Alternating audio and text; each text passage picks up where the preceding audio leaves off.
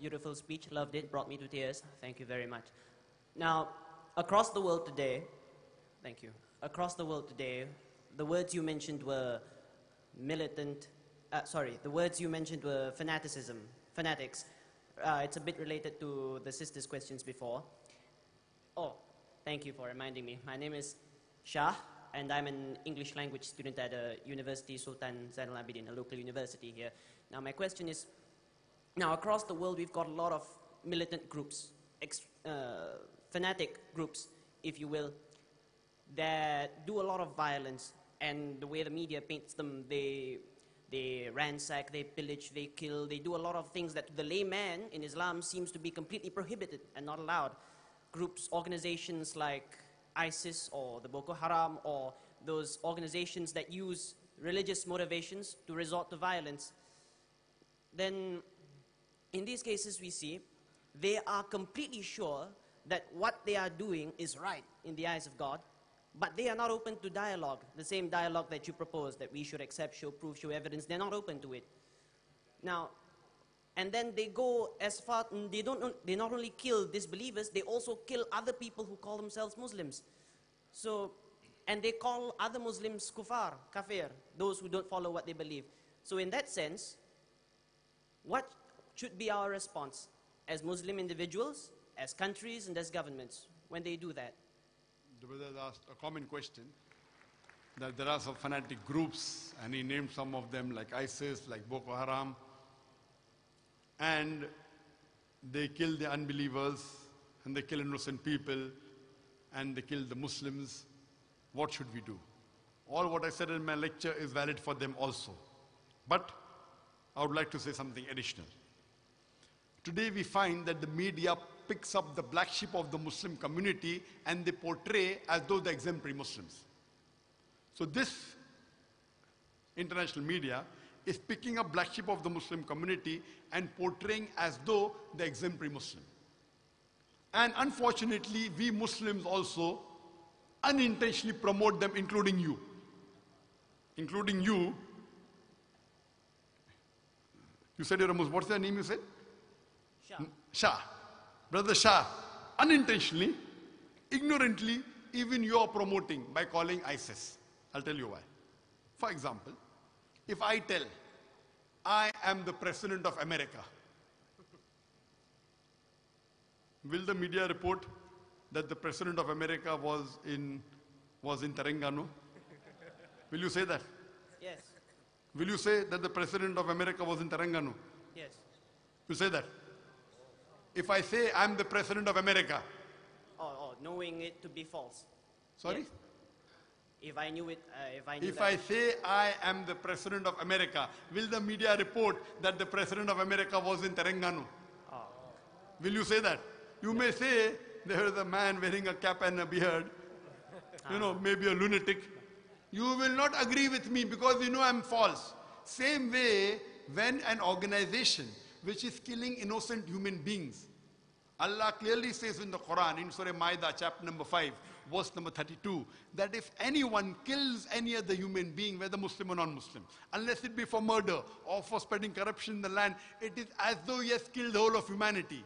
And if anyone saves any human being, it is as though he has saved the whole nation. There is no verse in any other religious scripture besides the Quran which says that if any human being kills any other innocent human being, whether Muslim or non-Muslim, it is as though he has killed the whole of humanity. And if anyone saves any other human being, whether Muslim or non-Muslim, he has saved the whole nation.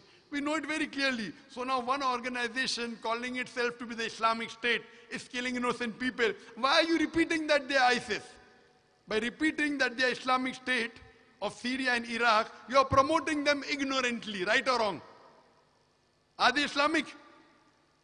So why are you calling them Islamic State? You should say anti-Islamic State of Iraq and Syria has killed innocent non-Muslims.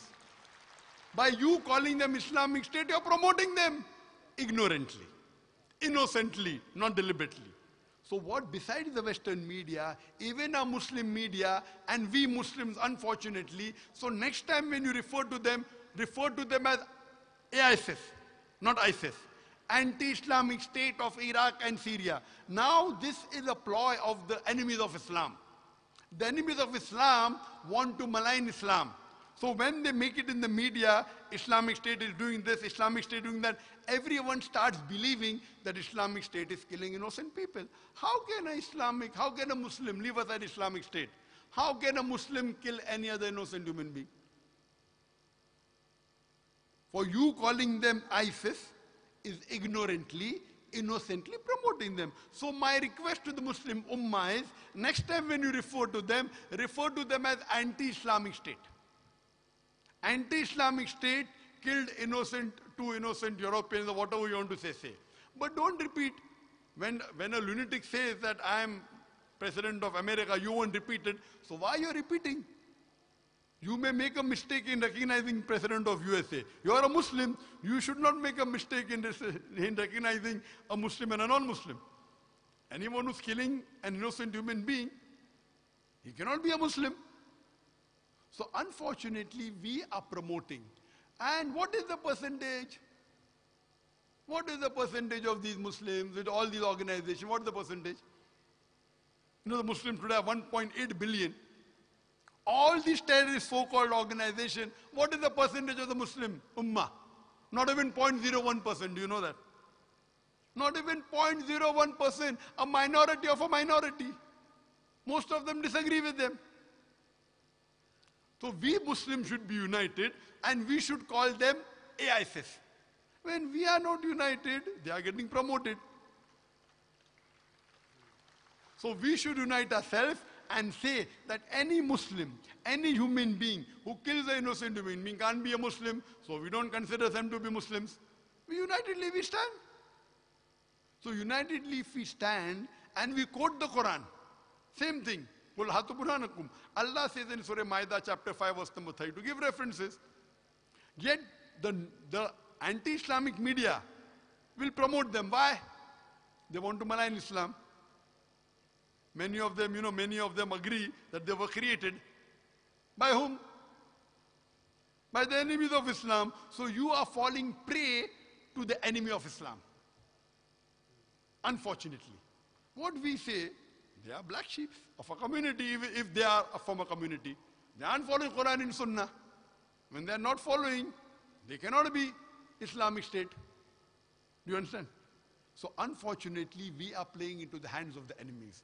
And they are fragmenting us. They are creating fitna. They are creating wars. One group with the other group. Shia with Sunni, with so-and-so group with that group. And we Muslims, unfortunately, are falling into a trap. With all our differences, if we Muslims are united on the basis of Quran and say Hadith, inshallah will be a strong force. And inshallah, whether we unite or not, Islam is going to prevail. That's the promise of Allah subhanahu wa ta'ala. We pray to Allah subhanahu wa ta'ala, may, may He make us instrumental in uniting the Muslim Ummah. Inshallah, we'll have the last question from the sister side and the brother side due to shortage of time. We'll have the last question from the sister and the last question from the brothers.